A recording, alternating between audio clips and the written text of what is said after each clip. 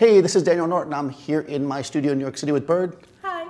And we're gonna make some kind of fashion shots today. Now, I wanted to do something uh, using more of a high key look. And you hear people say high key all the time, and generally what they mean when they say that is a white background.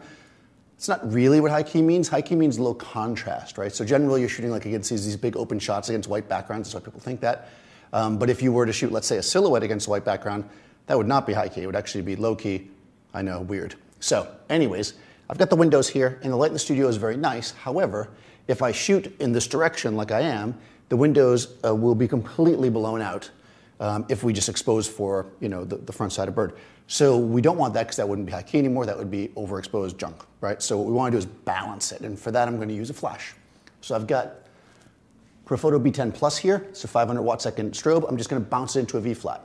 Now I'm going to balance it out so that it looks as natural as possible and I'm going to um, have it come from this direction off to the side so it doesn't feel artificial, right? If I put it over here, it would feel more artificial because it would be not coming from the direction of the windows, right? This is kind of, the windows go along this wall, we're kind of fooling the viewer that it's the window light on some level. So, that being said, let's set it up. So I've got over here uh, my Nikon Z6, and the first thing we want to do is set up an exposure, not a black frame like we normally do, but we want to set up an exposure for the windows. So I'm just going to look through my camera. Um, you know, it's a mirrorless camera, and I'm going to basically, she's more or less a silhouette right now, and I'm going to dial in my, I'm just to put my shutter speed at 200, which is the maximum sync speed for the camera, and I'm going to dial in my f-stop to get where we want to be. Okay, so 5.6 looks pretty good for me. We'll make a shot. Okay, so that looks decent. The windows are bright, but there's detail. Once I add the flash, I may mess around with this a little bit um, because it's going to affect it on some level. The, the flash is going to hit the, the, the, shades and affect the exposure. I'm going to use my Profoto A1 as my controller because I have it here and it's easy enough to use. I don't think I'm going to use it as a, as a fill flash, but I have it, so I can always do it if I want to. So we're going to kind of set this up here. I'll get an exposure with the flash. Let's bring this up. I'm going to focus on her. We'll do a test shot here and then we're going to take a look. Okay, see what a difference that made.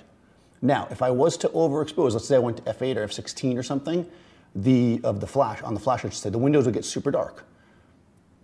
As it stands, they're bright and they look pretty decent, um, but I think they're not quite bright enough. So I'm actually going to dial in. I'm going to go down to. There's a few different ways you can do this. I'm to go down to 4.5. I'm going to leave the flash the way it is, and I'm going to go to 4.5. I will have to adjust the flash in a second, but I just want to look. Okay, that looks pretty good. I'm going to turn my flash down about half a stop. See, I'm actually about two thirds of a stop less power uh,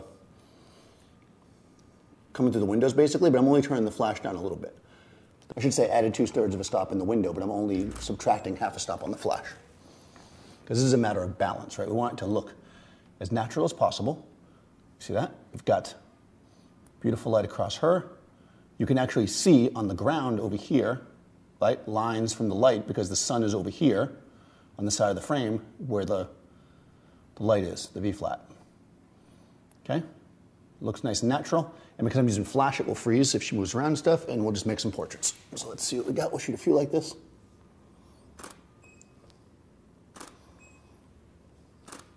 Giving her some room to move. Nice and simple. I'm shooting, you know, fairly wide. Um, so she has room to move because I can always crop it down a little bit later if, if I wanted. I'm on a tripod. What I'm going to do is I think I'm going to pop off the tripod for this because she's got so much room to move around. Uh, I want to give myself a little bit more freedom there. So I get this question a lot. I'm actually picking my focus point, the one on her face. The reason why I'm not using like the general let the camera pick the focus point is because it might focus on the wall or something behind her, even though it has you know face detect or whatever, because she is totally a silhouette to the camera, and I'm, you know, I don't want to trust my focus based on that. I want to pick it. Uh, that's just me. Some people love the autofocus systems. I'm much more of a manual focus kind of guy. More like that. Good. What's nice is because of the inverse square law and all the other stuff, she can move around and it basically gives us fairly good exposure no matter where she goes. Good. Now what can be fun here actually though is her silhouette is really beautiful so I can actually go in and turn my flash off and we can do a couple of silhouettes. So maybe like looking, extending your face. Yeah, there we go. Right, and we can actually shoot kind of a nice silhouette if we want that look, because that's actually really nice. And you know, the thing is, again, this is balanced, but who's to say what's balanced, right? That looks nice to me. You know, maybe I like that, but I want some more detail. I'll turn the flash back on, and then I'll actually dial it down maybe. Let's maybe dial it down to stop and a half. Keeping everything the same on the camera, right? So then she's lit, but she's darker, right? So we can do that too, make it a little more moody. I think I'll go a little bit, a little bit more. I'm gonna add, add half a stop. And again, this is kind of like seasoned to taste, you know? We take a peek at the computer. Yeah, that actually looks pretty good to me. Like she's darker with some mood, but the windows are still bright. So now I'm at 4.5. Uh, we'll do that. And then the other way that you could do this, guys, just so you know uh, all the math here and stuff, if you want to play around with it, is the other thing we could do is add some shutter or some shutter speed. Go to go to 125. Let's say 100. We'll add a stop of, of exposure to the shutter. So now the windows will get brighter, but the flash will stay the same. And we can play around with that. Because most of the kind of the ambient is behind her, oops, we should be able to stop the motion even at a hundredth of a second. Good. Very nice. You know, and again, I'm giving her lots of room to move. That's why I came off the tripod for a second, but see she's nice and sharp.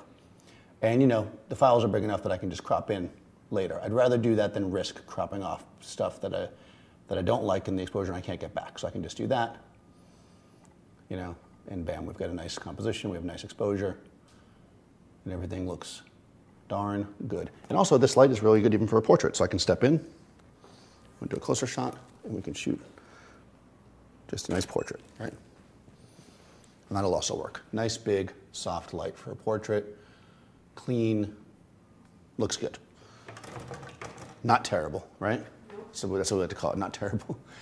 So this is good. Like you're gonna find yourself sometimes in a spot where you wanna shoot fashion or you wanna shoot a portrait or something in an environment, and it's a good idea to look at where the light is in the environment, like where it's coming from naturally, because that will make it look a lot more real, right?